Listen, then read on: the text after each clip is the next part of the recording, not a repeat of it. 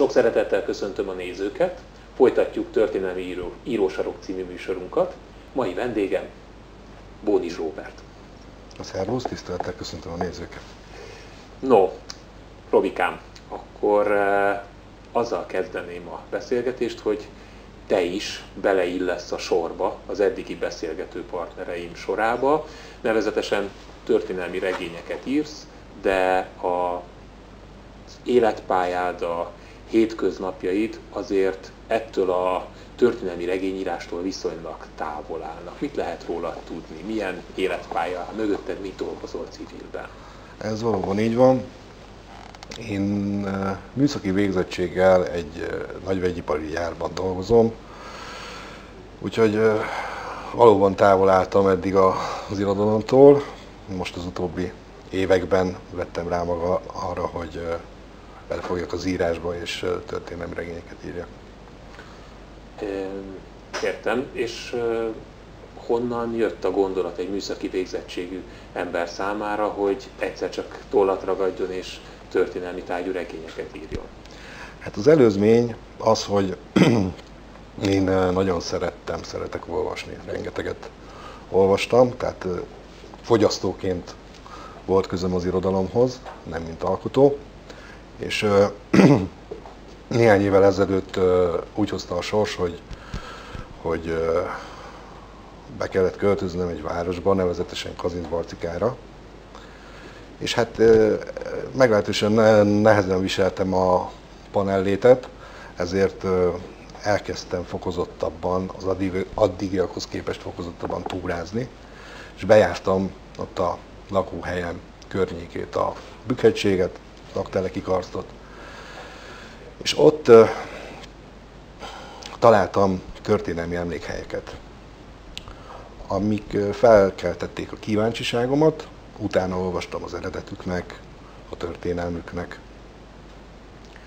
és uh, annyira megfogtak ezek a uh, történetek, hogy úgy, úgy gondoltam, hogy ha kerekítek köré egy mesét, akkor ezáltal sok emberhez eljutathatom azt a üzenetet, hogy ezek a helyeket el kell menni, meg kell nézni, és megtapasztalni azt, ami ott van karnyújtásnyira tőlünk, de rengetegen nem tudnak róla.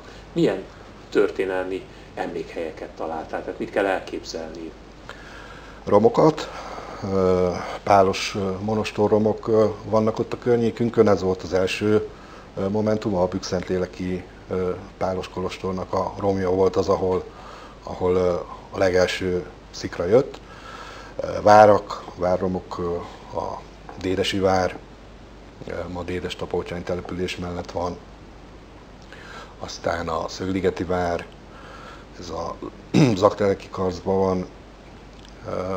És akkor ezek ihlettek meg igen, téged igen, igen, alapvetően. És, és tulajdonképpen a, az első regényem, a Külfaragó, az úgy készült el, hogy először megvoltak a helyszínek, azt sorba fűztem, hogy innen elindulva egy évbe járható, és ennek mentén építettem fel a történetet.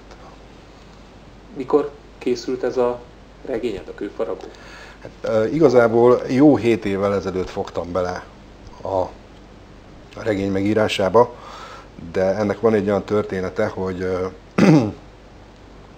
hogy amikor készen volt az első nyers kézirat, próbáltam ugye kiadót keresni, ami nem egyszerű feladat egy, egy elsőkönyves írónak.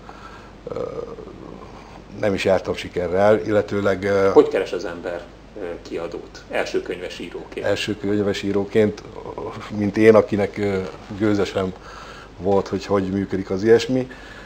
Egyszerű, kilistáztam a magyarországi kiadókat, megnéztem a profiljukat, ki foglalkozik történelmi regényekkel, és mindegyiknek elküldtem a, a kéziratot. E-mailen?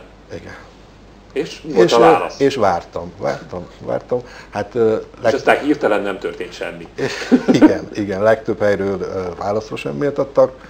Volt egy-két kiadó, akik azt mondták, hogy örömmel, hogyha megfinanszírozom. Erre persze nekem nem volt lehetőségem. És akkor volt egy egy viszonylag kis kiadó, aki már, amely már azóta nem is létezik, aki érdeklődött iránta, velük személyes találkozóra is sor került, és szándékuk volt a kiadás, de aztán abban az időben voltunk ugye a gazdasági válságnak a derekán, ők is pénzügyi nehézségekbe ütköztek, és akkor ez elsikadt ez a dolog, és akkor én csalódott voltam, és akkor a kézirat bekerült a fiókba. Elmorzsoltál egy-két sós könycseppet, és a kézirat bekerült a fiókba. Hát éppenséggel könycsepp nem volt, de igen, igen, elég szomorú voltam, de bekerült. És egy ideig nem is foglalkoztam vele. Nem is volt akkor itt tehát sok időmre a nagyobbik lányom akkor kezdett járni, stb. Tehát volt, volt elfoglaltság bőven. De aztán egy idő után elkezdett hiányozni az írás. És akkor belebotlottam ilyen novellaíró pályázatokba, ilyen internetes novellaíró pályázatokba. Oda mm, írogattam néhány novellát, és mivel elég pozitívak voltak a visszajelzések, ezért újra előszedtem a kőfaragónak a kéziratát, kicsit pihent szemmel, kicsit hígadt szemmel átfutottam rajta, csiszoltam, módosítottam, finomítottam, javítgattam, és akkor újra elküldtem kiadóknak, akkor már nem mindegyiknek, csak akit én kiszemeltem magamnak, azzal a, az ajánlással, tehát a hivatkozást megadtam, hogy a novelláim azok valamelyest eredményeket értek el. Bízván abban, hogy hát ez majd felkelti az érdeklődésüket. Én nekem akkor még gőzöm sem volt arról, hogy hogy szinop, mi az a szinopszis, meg hogy kell ezt ugye beterjeszteni, meg hogy, hogy működik ez az egész. És akkor a Goldbook-tól visszajelzést kaptam, hogy, hogy érdekli, egészen pontosan a Békés József szerkesztőtől, hogy felkeltette az érdeklődését, készítsek hozzá egy szinopszist, és küldjem el azt, aztán majd meglátjuk, hogy mi lesz. És akkor így történt, hogy végül is 2014. októberében végre megjelent a megjelent a könyv, kezembe kapta, nagy-nagy boldogság. No, mit lehet tudni erről a könyvről? Mi a története? Milyen korszakban játszódik? A kőfaragó egészen pontosan 1340-ben játszódik, egy tavasztól őszig tartó időszakban. A főhőse egy Diósgyőri kőfaragó legény, aki úgymond vándorútra indul, tehát bizonyos klasszikus népmesei elemekkel kezdődik, vándorútra indul, és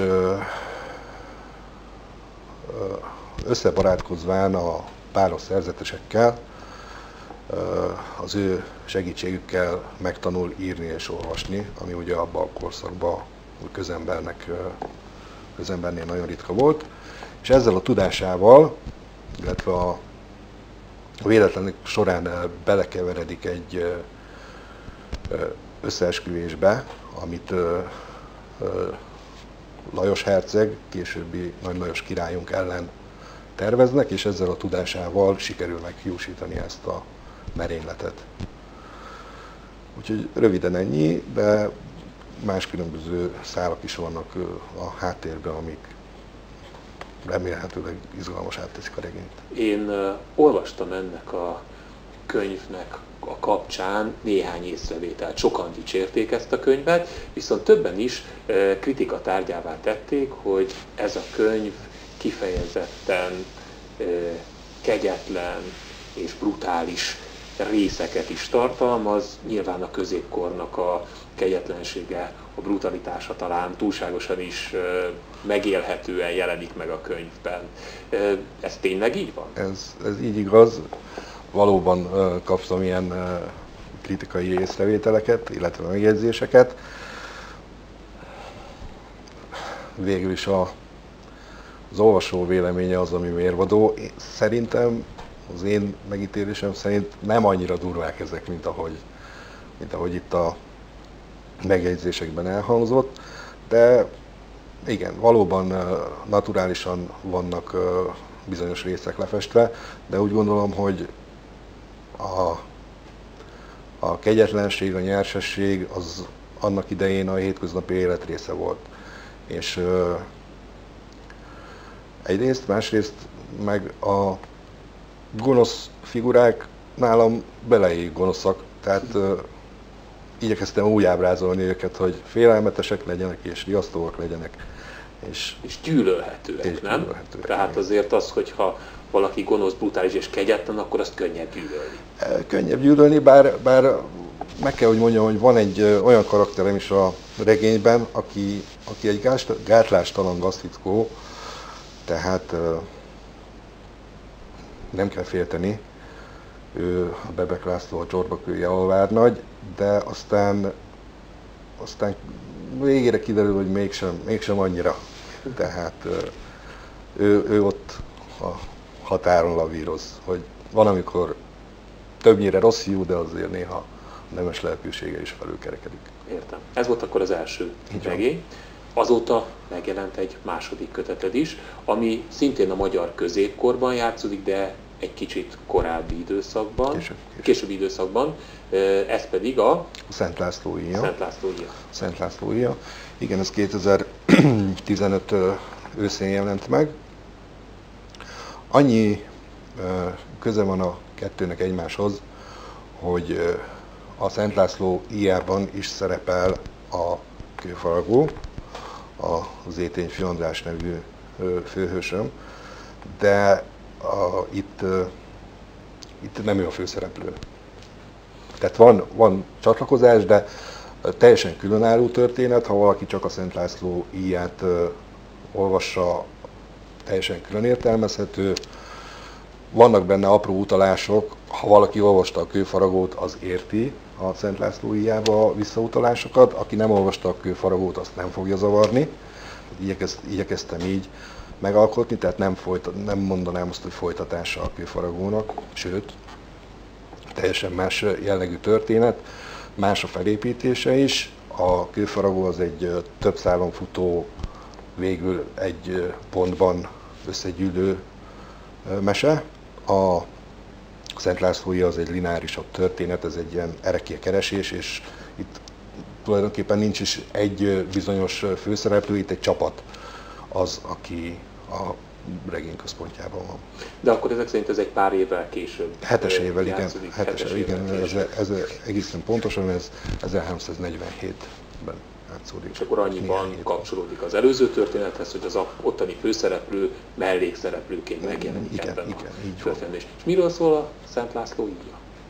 Nos, a Szent László íjának a története, az, illetve az alapgondolat az úgy jött, hogy kezembe akadt egy régi kincses kalendárium, és abban olvastam egy Szent László legendát, egészen pontosan a Szent László Nyila nevű gyógyfűről olvastam, amely hát több néven is ismeretes, tájegységtől függően Szent László Tárnics, Gencián, a keresztesű, amiről azt tartja a legenda, hogy gyógyította a pestist. És ennek van egy története, hogy miért lett ez Szent László nyila, és akkor én kitaláltam egy legendát a Szent László íjáról ennek összefüggésében. És a, ebben a történetben a kis csapat ezt az erekét keresi, különböző nyomokat kutatnak fel, hogy megleljék, és reményeim szerint a könyv végén van egy olyan, olyan slusszpoén, ami aztán az olvasó úgy fogja érezni, hogy ha, ha hát ez az. Értem, tehát egy olyan csavar, amely igen, igen. egyfajta felismerés igen, igen. olvasó számára. Értem. Mind a két történetedről úgy beszélsz, mint mese, meg kitalált legenda. Mennyiben szerepelnek valós események? Mennyire volt fontos ezek elkészítése során mondjuk a hitelesség? A hitelesség az mindenképpen fontos. Az én regényeimben a történelmiséget azt a, a helyszínek adják. Tehát adott bizonyos helyszíneknek a története, annak a leírása, és azoknak a, az eredetének a felemlegetése. A szereplőim azok javarészben a fantázia termékei természetesen a kőfaragóban előfordulnak valós történelmi személyiségek, például a Lajos Herceg, a későbbi Nagy Lajos királyunk, Károly király fia, vagy az ő nevelője Druget Miklós, de mondom az én regényeim történelmiességét azok a helyszínekhez kötődnek, és azoknak a leírásához. Ezek azok a helyszínek, amiket te bejártál, így van, így van, így Kazinc Barcikáról kiindulva kirándul? Így van, így van, így van, erről van szó. Akkor ezek szerint azt is lehet mondani, hogy te könyveid ehhez a tájegységhez kötődnek. Így van, hát egy, a kőfaragó egyfajta lokálpatriotizmusból keletkezett, hogy ismertessen meg az emberekkel ezt a sok csodát, ami ott van elfeledve és ismeretlenül.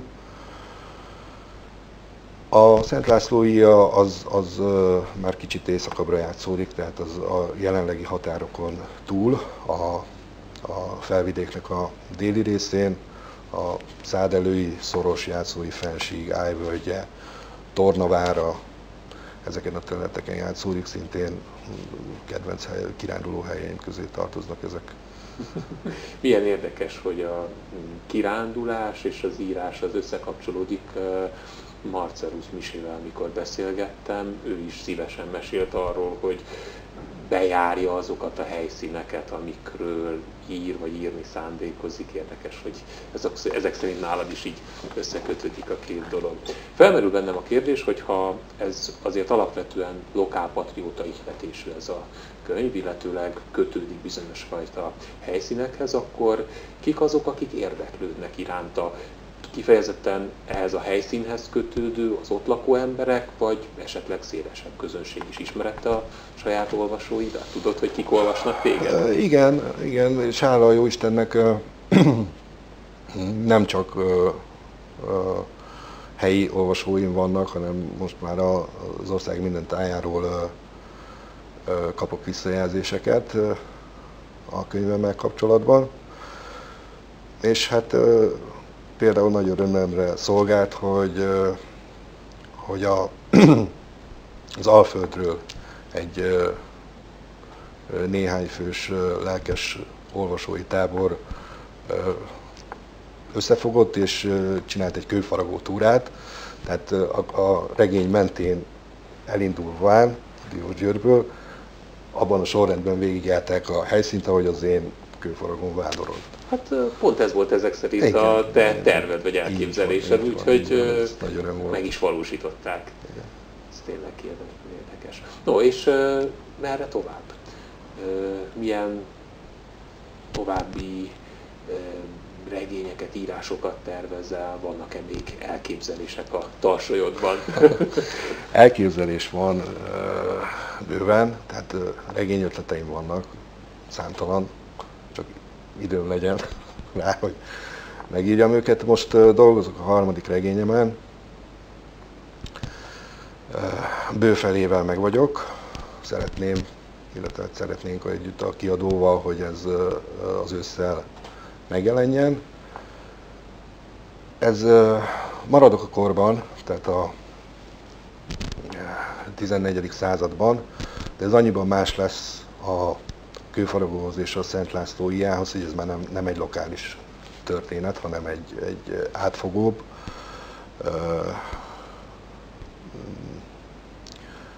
regény lesz, illetőleg nem is regény, mert annak idején ez úgy történt, hogy a kiadó javasolt egy témát, és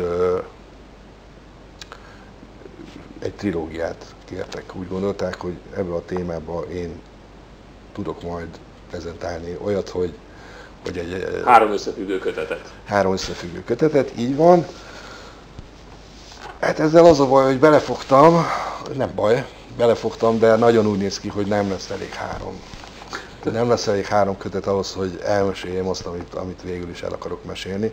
Úgyhogy nagy valószínűséggel ez, ez, ez talán, talán 5-6 kötet is lesz, úgyhogy az elkövetkezendő 4-5-6 évemet ez a történet fogja befolyásolni. Mi ez a téma, amire nem elég a három kötet? Ez hát Nagy Lajos királyunk uralkodása, illetve az ő uralkodása mentén fog felállni a történet, és hát ugye azt tudnunk kell, hogy, hogy Nagy Lajos ő meglehetősen izgága volt olyan szempontból, hogy a uralkodása 40 éve alatt mindössze hármat nem töltött hadjáratban. Tehát úgy érted az izgágát, hogy sokat háborúzott. Így van, így értem, igen. igen. És uh, rengeteg a, a történés abban, a, abban az időszakban, és hát ebből gondolom azt, hogy nem fogom tudni uh, három uh, kötetbe beletenni azt, amit szeretnék elmondani, mert ahogy, ahogy folyamatában kutatok az eredetek után, mind olyan újabb és újabb érdekességeket találok, amit szeretnék megjeleníteni, hogy, hogy terebélyesedik a történet, és hosszabb lesz, mint három kötet. Ez szinte biztos. Viszont most elkaplak, szabadon foglak. Azt mondtad, hogy kutatás közben találsz érdekes történeteket. Én nagyon szeretek tanulni, és a magyar középkort azt pedig egyébként is szeretem. Tudsz-e valami olyan érdekesebb momentumot mesélni, vagy, vagy felemlegetni, amire kutatás közben bukkantál, akár az eddigi könyveid során, akár most a ö, Nagy Lajos ö, uralkodása kapcsán, szóval ö, valami kis érdekes történelmi adalékot esetleg tudnál mondani amit mondjuk bele szeretnél szerkeszteni a könyvbe, vagy akár olyat, amit ö, úgyse fogsz beleszerkeszteni, de a kutatásai során bukkantál ilyesmire. Hát a, ugorjunk vissza a kőfaragóra, ott, ott például a, az András mester elkerül Rudára, a mai Rudabánya nevezetű településre, ahol egy időre bányásznak szegődik, hogy megéljen, mert én mindenképpen szerettem volna leírni azt a, azt a dolgot, amit a középkori bányászat utáni kutatásomban találtam, hogy ugye Ruda a középkorban ezüst és részbánya volt, csak a 20. században lett vasrészbánya, és elképesztő munkakörülmények között dolgoztak ott az emberek, rendkívül érdekes szerszámokkal, és azt is tudni kell, hogy kutyák segítségével fejtették az ércet, ami azt jelenti, hogy olyan szűkek voltak a járatok, amiben dolgoztak, sokszor négy kézláb vagy akár hasonfekve csúszva, hogy a kitermelt ércet bőrzsákokban kutyák hámjára akasztva vonszoltatták a felszínre.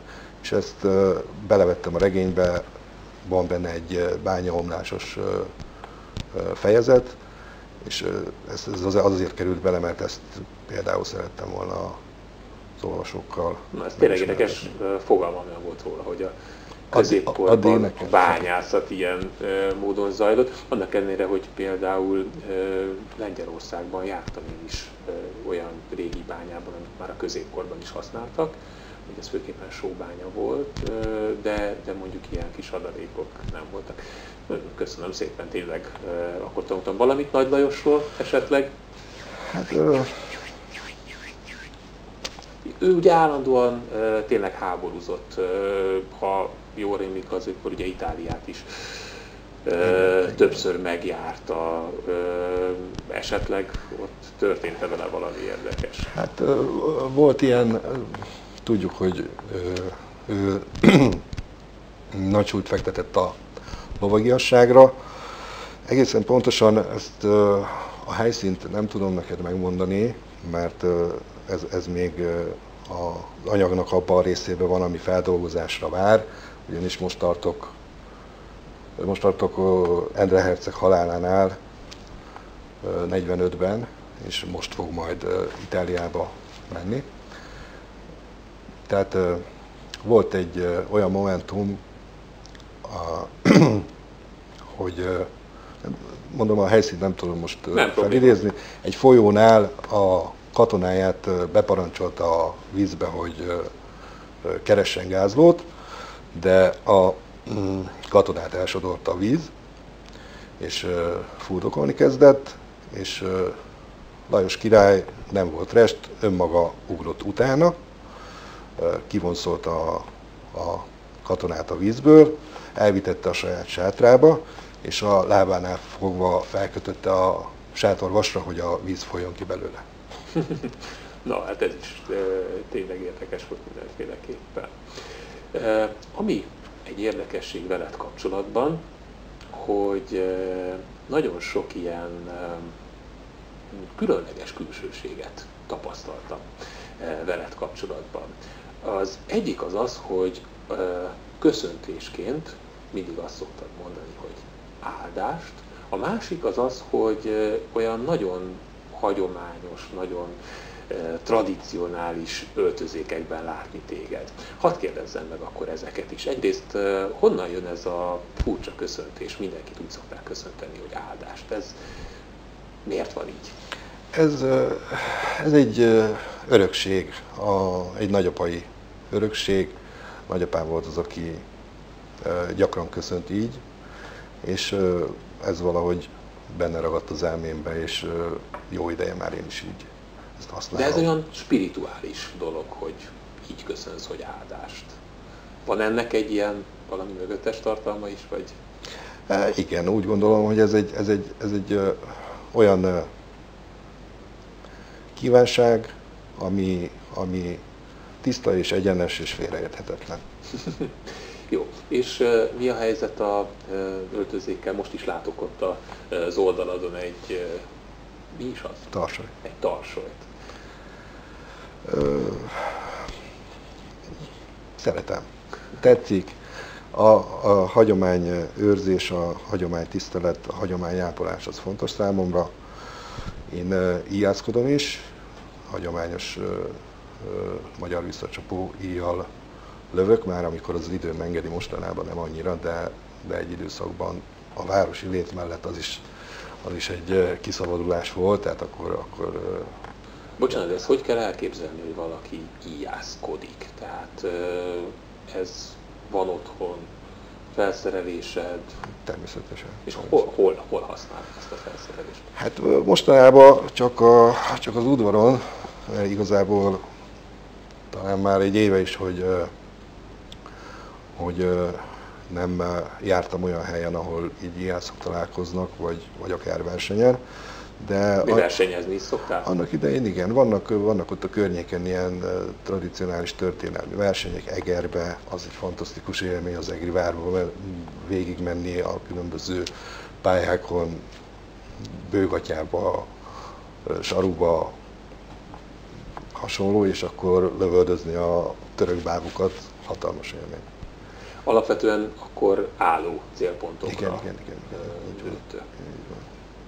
De most akkor csak otthon. Hát most egyenlőre csak otthon, igen, igen, igen. Majd, hogyha a gyermekek kicsit felcseperednek, és akkor kicsit szabadabbra tudjuk engedni magunkat, vagy akár, hogyha a nagylányom már most ö, ö, kiálcsiskodik és érdeklődik, aztán lehet, hogy majd vált válnak vetve együtt fogunk újra versenyeken megjelenni. No, egy picit még a e, magánéletedről hadd kérdezzek. E, úgy tudom, hogy egy picike faluba élsz. Így igaz. Így igaz. E, hol van ez a pici falu, mit lehet erről tudni, illetőleg a családodról esetleg mesélnél egy kicsit?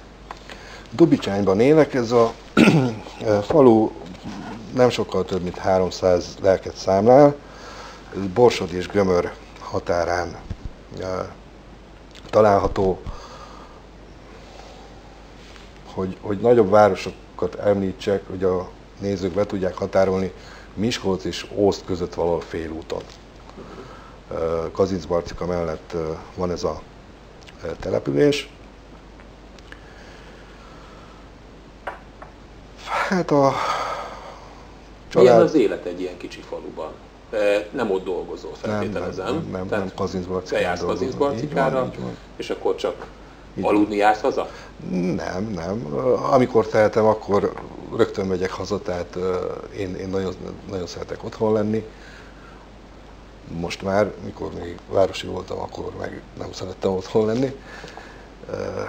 Békés, nyugalmas, csendes, hát szép környék, dombok között a sajó mellett, tehát kőhajtásnyira van a sajó, friss levegő, madarak, állatok, imádom. És a kis családod? Ők is, ők is szeretik. Kikor is áll a kis családod? Az én drága szép hitvesemből. Van egy uh, nagylányom, őt Zillének hívják. Hogy hívják? Zille. Uh-huh. Ő 7 éves lesz, nem sokára, és van egy kislányom, Boroka, ő pedig két éves múlt októberben. Ezek is elég különleges névválasztások. Mind a kettő hagyományos régi magyar név. Nyilván akkor ez is beleillik abba a képbe, hogy igen. a hagyományokat őrzöd. Igen, igen. És hát ugye ott van még Csobán a puli. Meg... Csobánnak hívják a pulit? Igen, igen. Fekete vagy fehér? Fekete. Hát igazából puliféleség, mert hogy az édesanyjában vagyunk biztosak, hogy ő puli volt, az apja az kétséges, de pulinak néz ki. Mm, és még ott él Kacor király, az undokmacska, akit rajtam kívül mindenki szeret, én nem annyira. Kacor királynak Kacor hívják. Királynak hívják. És annak ellenére, hogy te nem szereted, ő ott élhet. Hát ott, ott élhet, igen. igen, igen. Ahogy, ahogy a lányom szokta mondani, Kacor király, ő garázsi macska, mert a garázsba még bejöhet, de a lakásban már nem. Jó, visszakanyarodva egy kicsit még az írói pályádhoz. Igen. Hol, hogyan tudod tartani a mm, kapcsolatot a olvasóiddal? Hol tudnak téged elérni, látni, élőben, hallgatni? Van erre mód és lehetőség?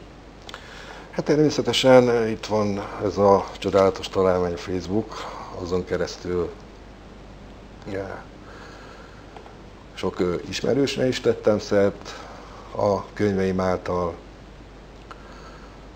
a moly.hu, on, onnan is kaptam visszajelzéseket, tehát vannak molyos olvasóim, és aztán járok íróolvasó találkozókra, ahol meghívnak, szívesen elmegyek. A regionális újságokban jelent meg rólam cikk, interjú, az, az által is megismerhetnek valamelyest az olvasóim. És egy író-olvasó találkozó az hogy szokott zajlani? Te beszélsz, vagy kérdeznek is a, kérdez is a hallgatóság? Kérdez is a hallgatóság, és hát van, van, van nekem egy jó barátom, aki el szokta vállalni ezeknek a találkozóknak a moderálását, tehát ő tesz fel kérdéseket, ő irányítja a beszélgetést, amíg, a, amíg el nem jutunk oda, hogy a közönség soraiból is aztán felteszik a kérdéseket. Kérdeztek már érdekes dolgot?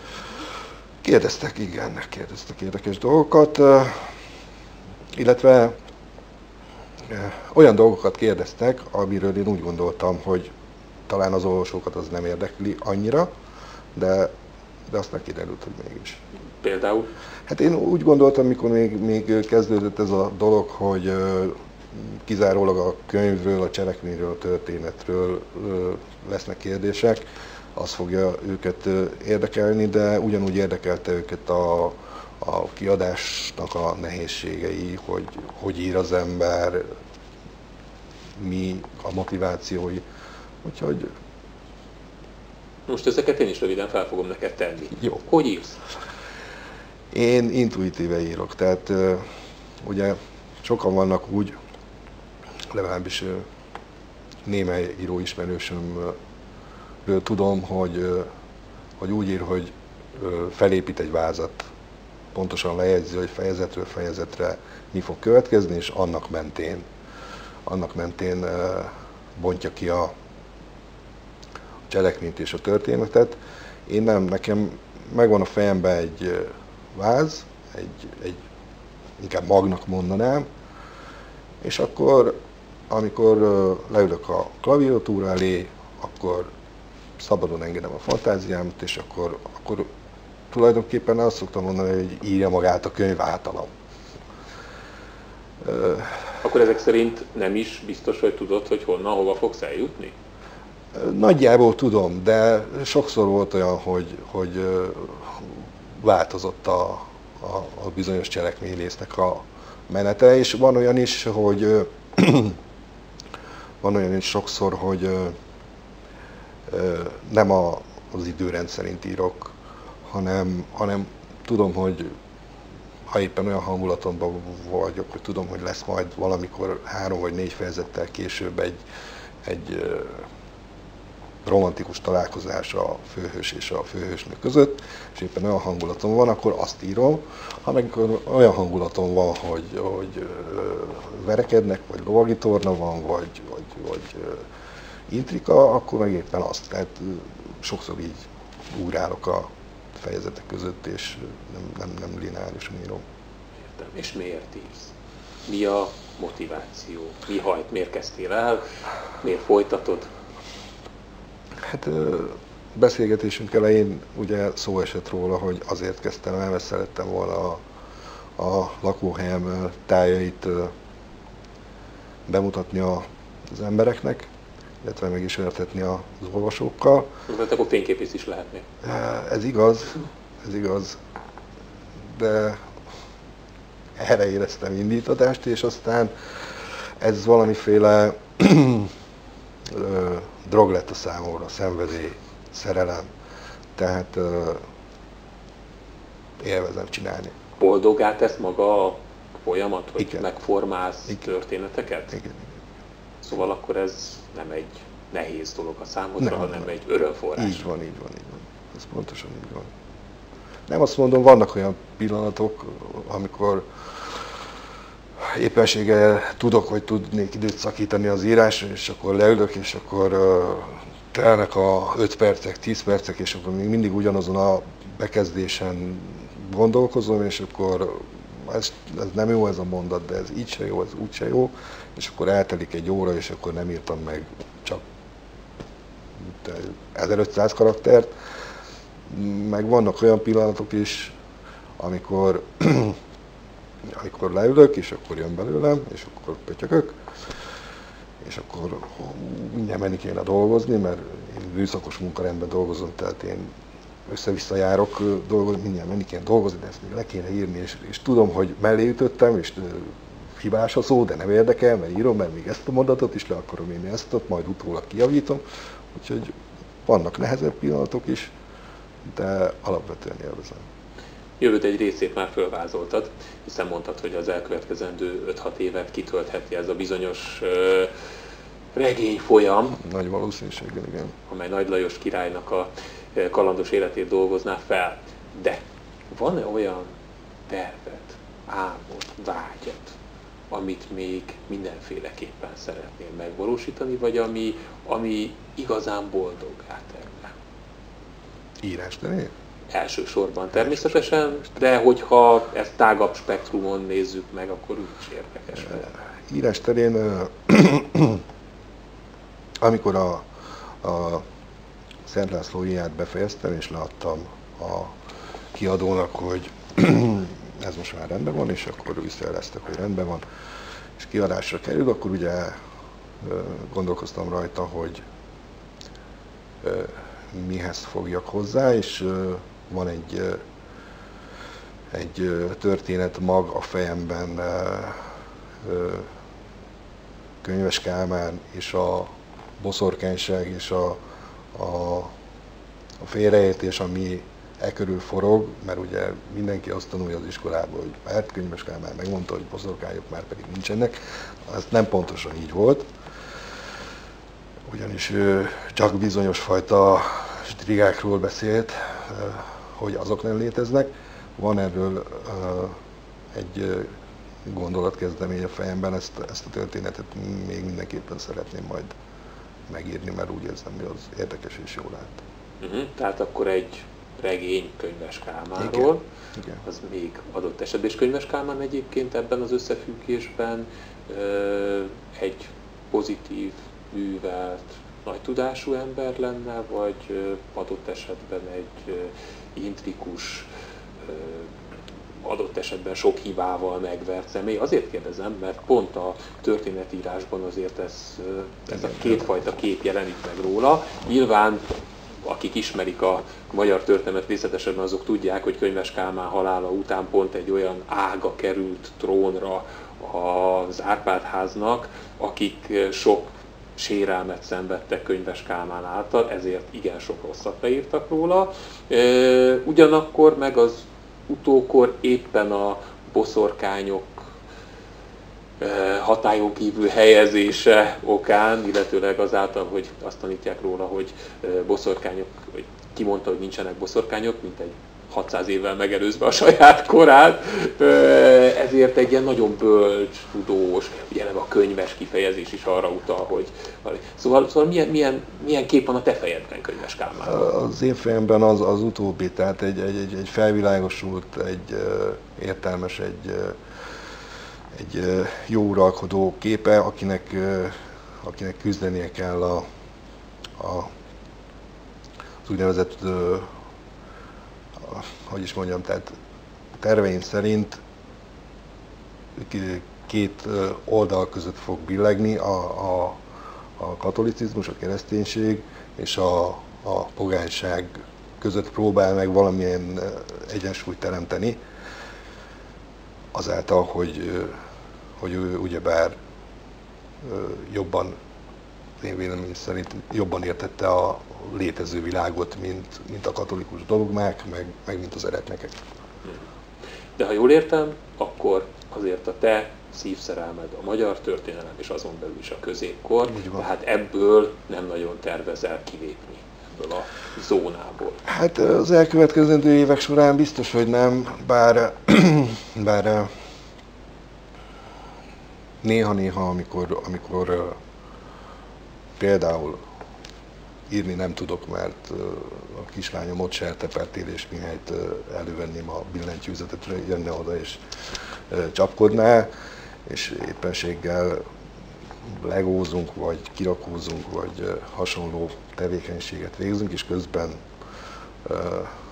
forognak a gondolataim. Hát vannak ötleteim egészen a, a hazatérés honfoglalás időszakából, egészen a Rákóciak koráig, tehát a kuruc világig, úgyhogy...